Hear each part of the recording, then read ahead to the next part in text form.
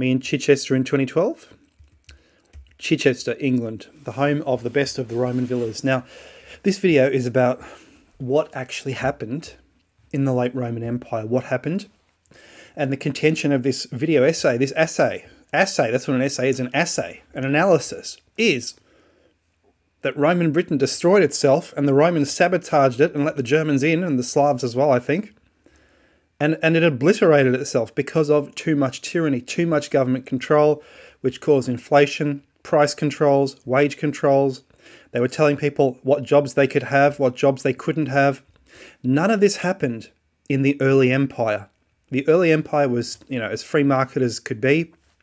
Uh, not, not, not entirely. Egypt was a feudal state owned by the emperor, and he used the grain to just give to the people in Rome to give uh, to give him popularity. But the rest of it was pretty free. You could travel around. Not Egypt. Not Egypt.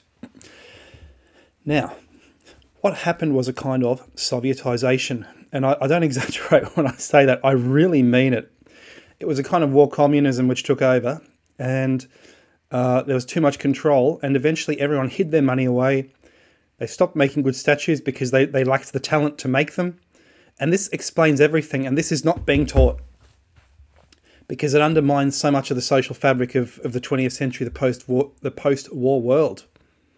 And that's why it wasn't taught in universities. You'll only find one or two papers on this online. This is why the Roman Empire collapsed. It could not afford anything by the end. So let's get into this analysis. So I, I started this quest back in 2012 when I thought, okay, something something's not right. When I went to Chichester, something's wrong here. This isn't right. This isn't right. And uh, my senses were activated by uh, when I saw these walls around Rome and Chichester, and I saw that these walls were not built in the early centuries. Chichester was a, a Roman city in Britain in southern England, and these walls were built in 350 AD. There were no walls, it seems, before that, and they're still standing. They're built quite well. They seem to have been, been made out of the medieval type stone, but also the uh, the Roman brick. And I thought, wow, that's amazing. But why didn't they need to build them before? Why not? Was Rome so much stronger before? Why did Rome get weak? Why did they collapse? Why did they need to build these walls? Well, for starters, we know that they they were not allowed to, to raise a militia or an army, so they maybe they were allowed to build walls. That was the only defense they had because the emperor feared civil war. Fortifying the town 350 AD, and you'll you'll start to see why my all my senses were activated uh, when I saw this. Um, there's even little Roman tiles on the turrets. How cute! 60 bastions. Uh, there, there was a ballistae crossbows capable of firing metal bolts up to 500 meters. The intention was to show the enemy that this was a town prepared to fight. Okay, all right. yep. So Chichester is founded, and then they build the city wall. Then that's when Diocletian's reforms began. That's when they built it. So Diocletian, he not only persecuted the Christians like crazy, he's called a tyrant in the British the British history, but he also he was the last one to persecute the Christians. After him, Constantine made Rome Christian. But he also brought in the most tyrannical set of laws extended by Constantine that you've ever heard of. That you've ever heard of. Sons had to follow the, the path, the career path of their fathers. All wages were controlled all prices were controlled. There were there are lists of every item and, and what you must pay for it. And what happened is that Britain, the British cities shut down in response to this.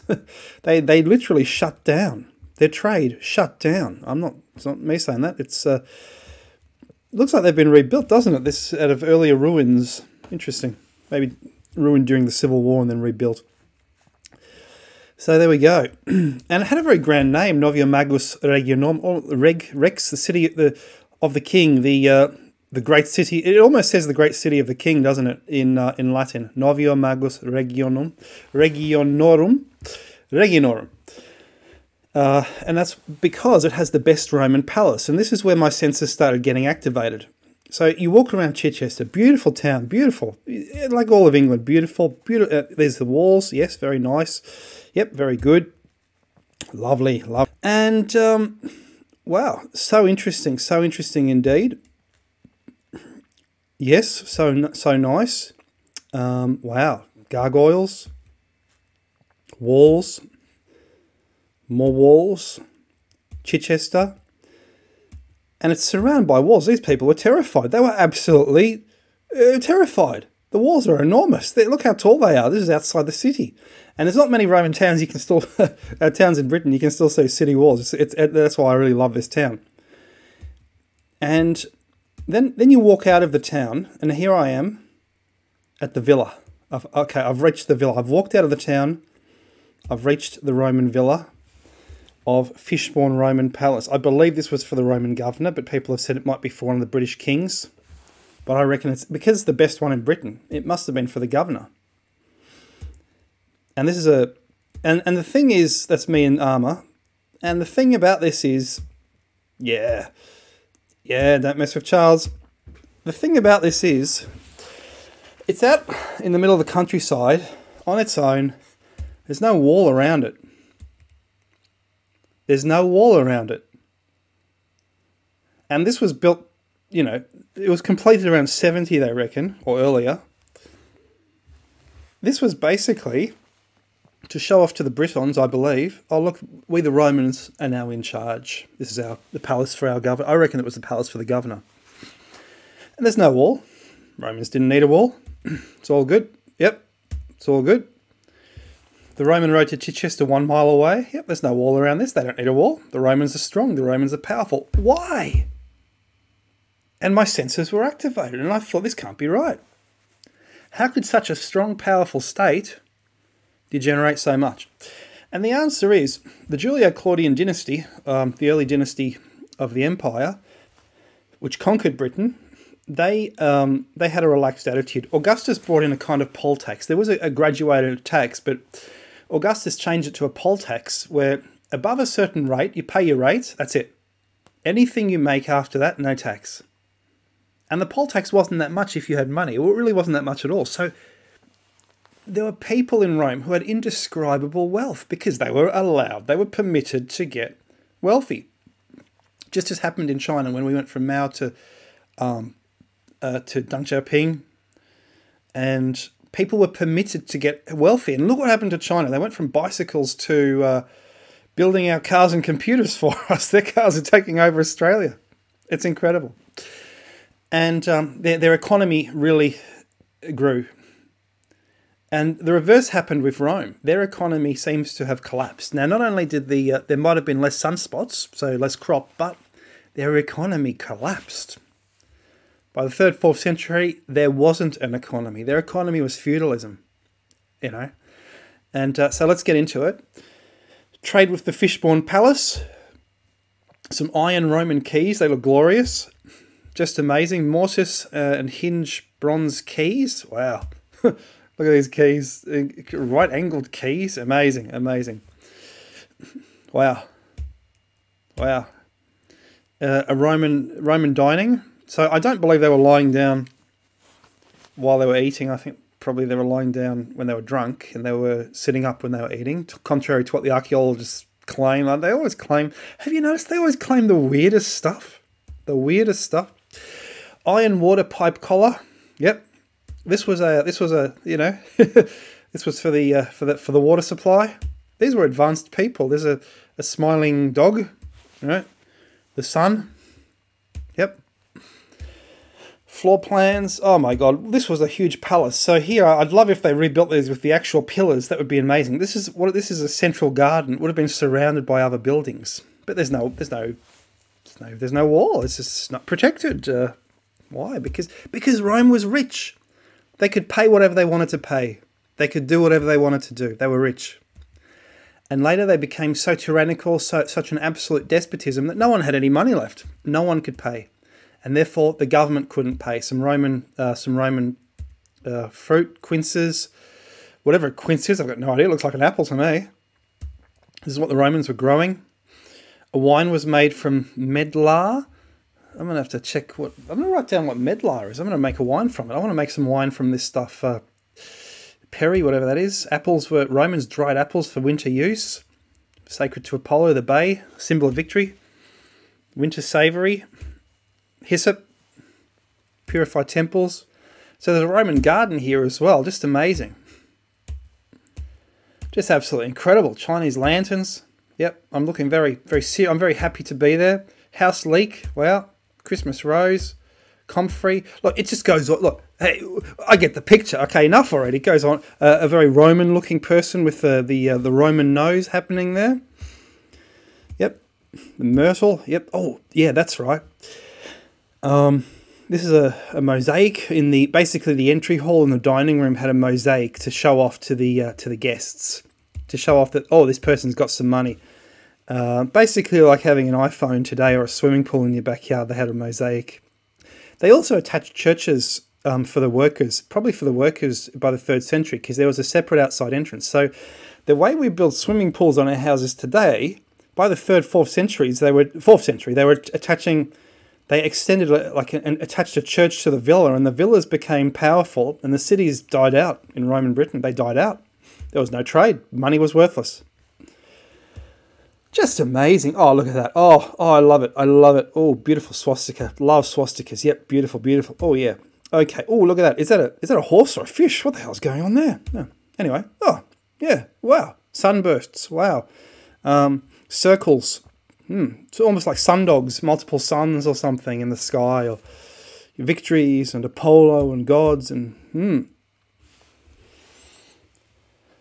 Okay, so let's continue. Fishbourne Palace as it may have appeared. And now I go to, do that. Yes, done it. So, uh, Thomas Cole, The Course of Empire. And it seems this is inevitable.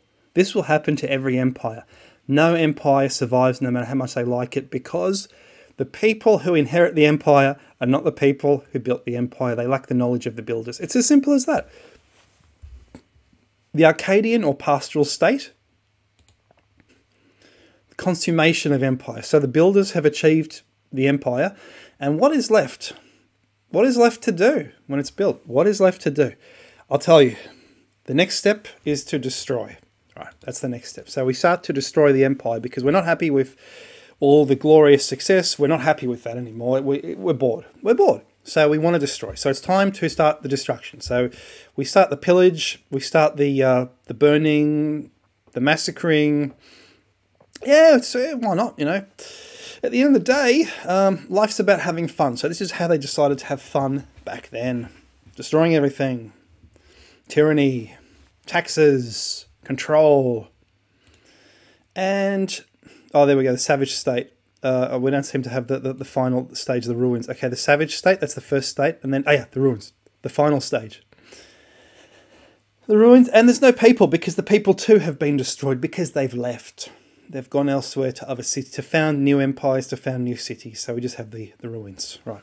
And that's what happened to Rome. So in the late empire, we started to have things called the latifundium, which was basically imagine a um, a giant work camp, uh, collective farm, more collective farm than a work camp, and it's full of serfs. They're not necessarily slaves. There, they can be serfs, and they just specify they concentrate on one type of crop and they make a lot of money.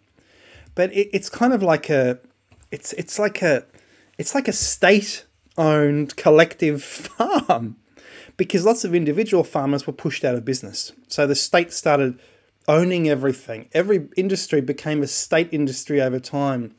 And the emperor went from just owning Egypt to owning almost uh, a, a lot more of the empire, a state farm. And we saw what happened with the art. We went from a sort of free market system where anyone who was talented, who had a passion, could create, could live their passion and create something really beautiful, uh, such as this. Uh, I believe it's Marius of the late Republican period. Uh, again, um, an amazing, an amazing artwork. It, it just captures not only uh, the appearance but the personality, and it shows that the wrinkles are they're earned. These are earned wrinkles. So he wants to to show show the wisdom this is a, a picture of wisdom, right?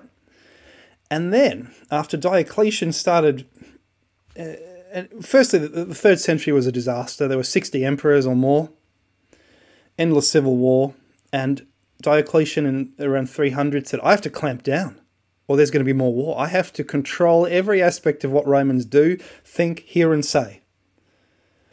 And from now on, no one's allowed to do what they want anymore. They're going to do what I say. They're going to inherit the jobs of their fathers. Everything's going to be inherited from now on.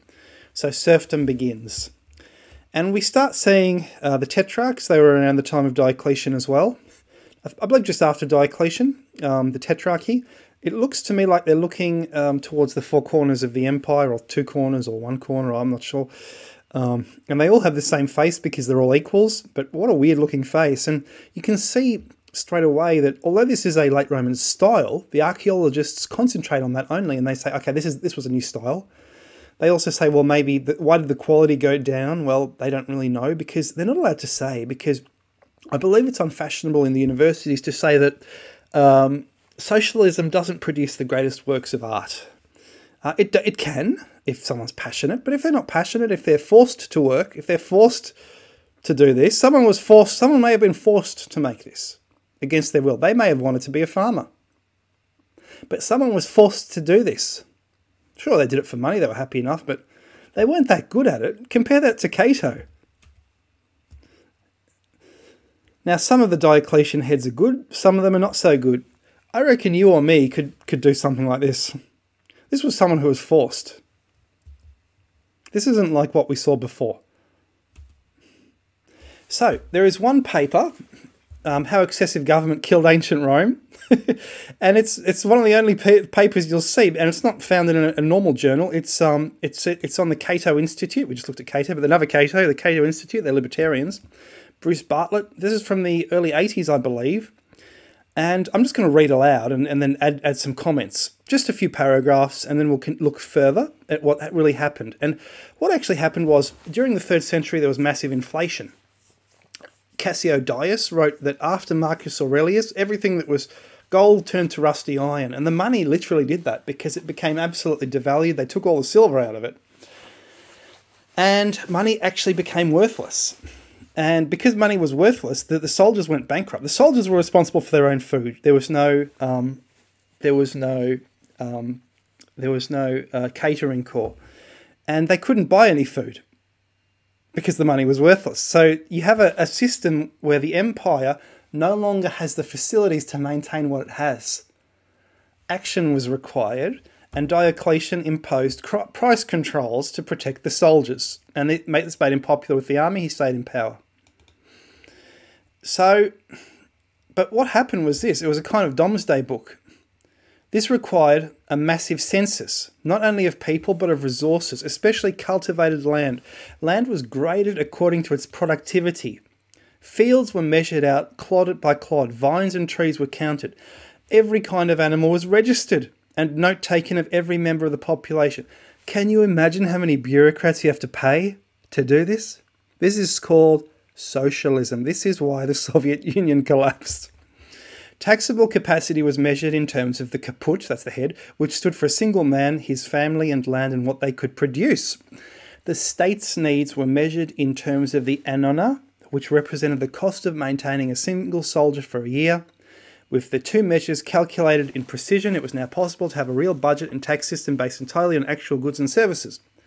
So Diocletian thought, oh, I'm going to work it all out. I've got it all worked out. This is going to be brilliant. This is going to be great. Assessments were made and resources collected, transported, and stored for state use.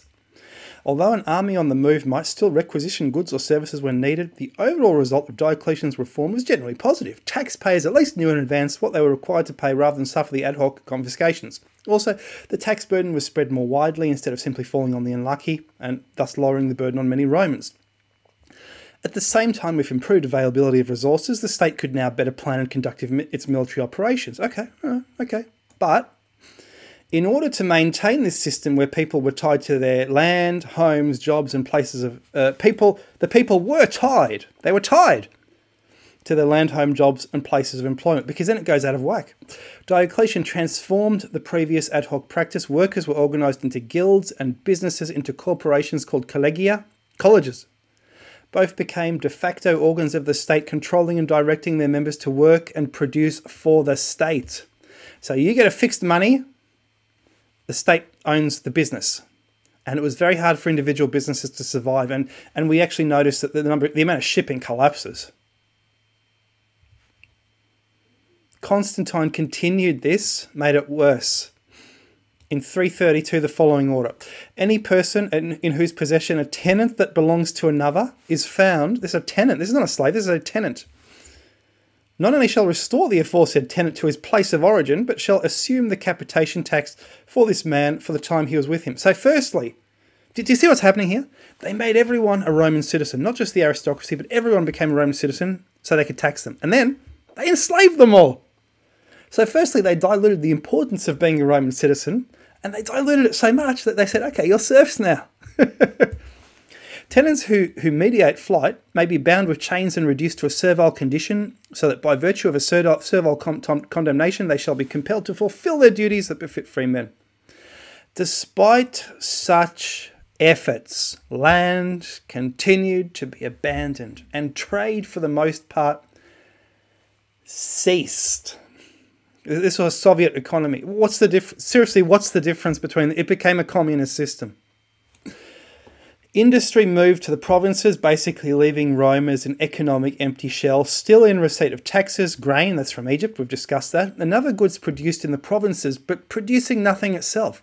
The mob of Rome and the palace favourites produced nothing, yet continually demanded more, leading to an intolerable tax burden on the productive classes. 50 years after Diocletian, the Roman tax burden doubled, making it impossible for small farmers to live on their production.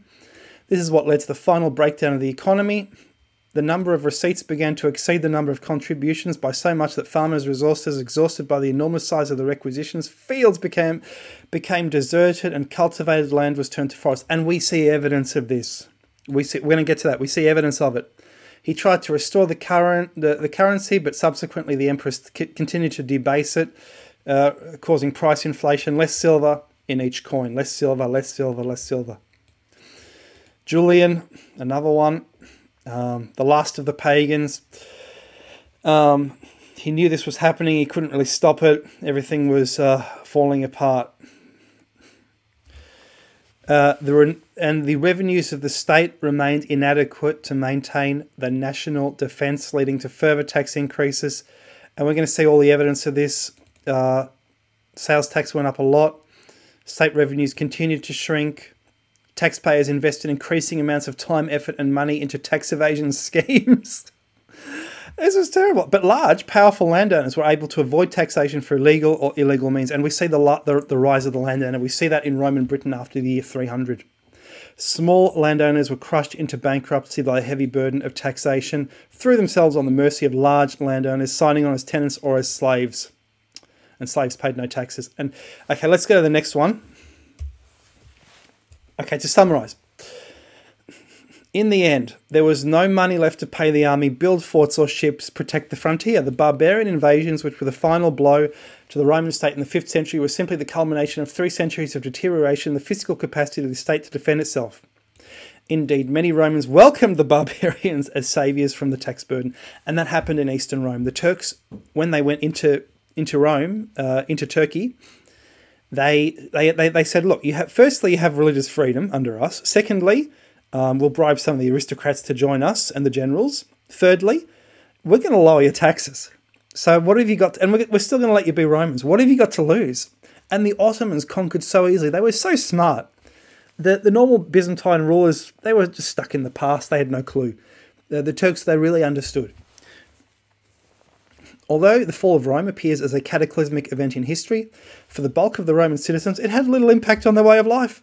And guys, we, we do you see what letters? We're using Roman letters. Our legal system is, has Roman words. The invaders didn't change too much. They became Roman, but they ran it better. In conclusion, the fall of Rome was fundamentally due to economic deterioration resulting from excessive taxation, inflation, and overregulation. Higher and higher taxes failed to raise additional revenues because wealthier taxpayers could evade such taxes while the middle class and its tax paying capacity were exterminated. Amazing. Amazing.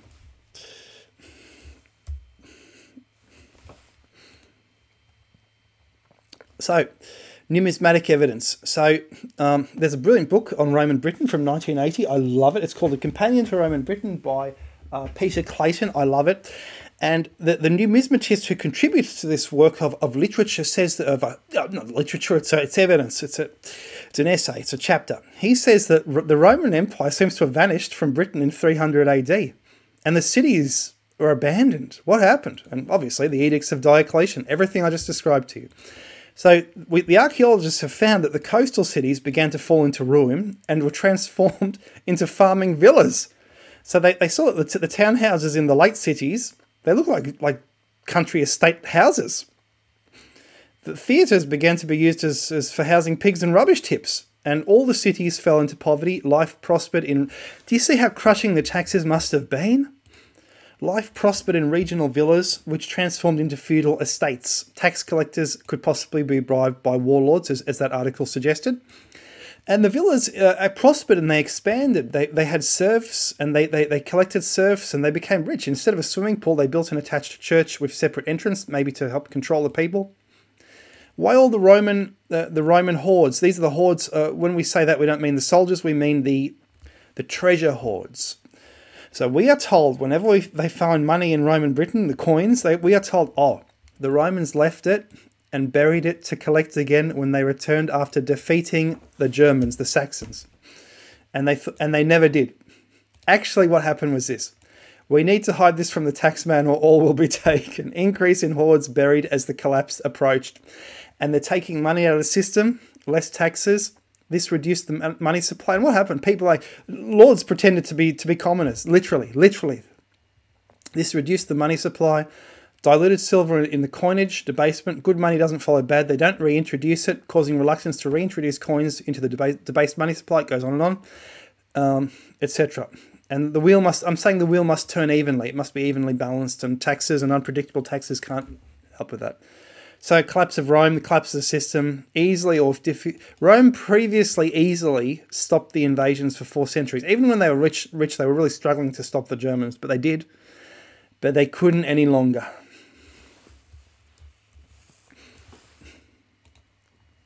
So, why aren't we taught this? Because I've only found this out recently the communization of uh, late Rome. Republican and Judeo Julio Claudian aristocracies had a low tax, and this gave way to increasing taxes, needs to bribe army for power. The system began to dismantle itself from within. Murphy's Law, business cycle, whatever you want to call it, it ended up. And basically, I reckon sabotage from Roman citizens joining the Germans. They said, We don't like this system, we'll join you. Rule over us, please. In pillaging the empire, starting up new kingdoms, now, why aren't we taught this? Because I believe post war socialism in the 50s, the world turned to socialism, 50s to 70s, and this meant that this sort of research could not be published, it was unpopular. Why? Because they thought we our, our socialism is different, we can do better, because we got science this time. You know, we're planning to go to the moon, we're launching satellites, and we've got ENIAC, the computer ENIAC. So, you know, at the end of the day, there's nothing stopping us doing whatever we want, and we can have our socialism and eat it too. So, rise of Christianity. What's that? What's that all about? Well, why did the Romans, the, the emperors tried to suppress it so strongly, and the harder they tried, the more popular it became.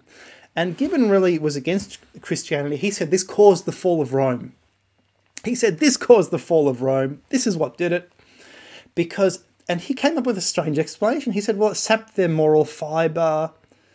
It, um, it made them reluctant to fight anymore. But that's not true because if you're only concentrating on the afterlife, as they did, you wouldn't care so much about the present life. So, what's he on about? But I believe the concentration on the afterlife was due to the fact that they started to hate their present lives. They hated it. They didn't want to live anymore. They uh, under that terrible tyrannical system. They were miserable. Uh, my bro says in physics, cause and effect is interchangeable. Did they think my next life is better? I hate my life. I hate my job and there was a huge decline in the arts because you didn't need to be an artist anymore. And if you were not an artist, you couldn't become an artist. And obviously, that caused some troubles uh, in the 20th century, didn't it? There was some fellow I recall in Germany. He uh, he is that true? He was uh, he might have been an artist or something like that. The Kaiser or something. I don't know. Anyway, there are hardly any economic historians. That's the other problem. As humanities brains and numbers brains don't mix, but we do both on this channel. Universities attract revolutionaries as it's the ultimate non blue collar job. They can't do blue collar because they're actually not built for it. And this is the only job they can do. Uh, firstly, they have a sufficiently overinflated ego, which needs requires excessive flattering, and then they have a, a, birth defect, which is called the derangement of the ligament, because they're not built for hard work. They actually can't do hard work, and many uh, white collar people are trapped this way. They're trapped. Um, I met many bankers when I was a uh, I was working last year as a mortgage broker, and um, which is why I didn't make many videos. But I know as many bankers that they're working 15 hours a day. They're exploited. They love it. They love the job, but they um, it's all they can do. because of that, they work 15 hours a day. They never see their family just to make a decent income. So um, many uh, um, people, um, they can be manipulative because if they don't have it physically, they have it mentally. They use manipulation and abuse. And um, many, and as a result, academic society is actually quite an abusive, toxic uh, world. I'd estimate maybe 50% are toxic and weird. 50% are geniuses. They're brilliant. They deserve to be there of academics. 50%, nah, no. and I've noticed recently, since about the 1970s, the university system actually disregards knowledge and they want structure, they want sophism. Too many, there's too many taboo knowledges these days. You're not allowed to talk about certain things. And this started in the 20th century with, with uh, I believe, when they said long range weather forecasting is banned. They were banning it. That's astrology. We're banning it. We're not even going to talk about it because now science is the god. Uh, traditional medicine's banned with the 20th century. I believe the 19th century was discredited when radioactive decay was discovered and Kelvin was discredited. Kelvin's astronomy was dis discredited. He said the sun was 20 million years old, 100 million years old. They, they discredited everything about the 19th century when they discovered radiation. And they started using radiation, radium pills, and all this, and the 20th century, the future, and you know, and, um, and, and, and this meant all the buildings were discredited. So in the 20s, they started demolishing all the Victorian buildings and replacing them with deco futuristic curves. Now, where are we today? Taxes higher than ever and increasing. History doesn't repeat, but it does rhyme. Where are we heading, people? Where are we heading? Your comments below. Uh, I do hope you've enjoyed the video.